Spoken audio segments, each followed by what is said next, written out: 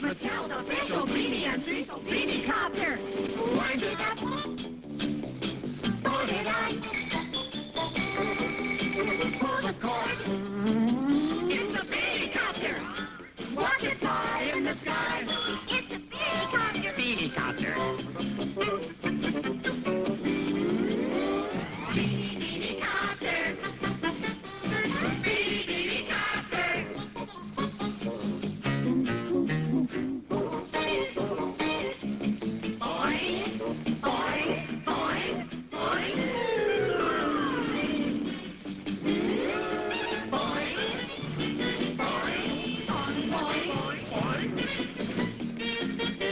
Wind it up, put it on. It's the only official Beany Copter. Comes with two copter blades.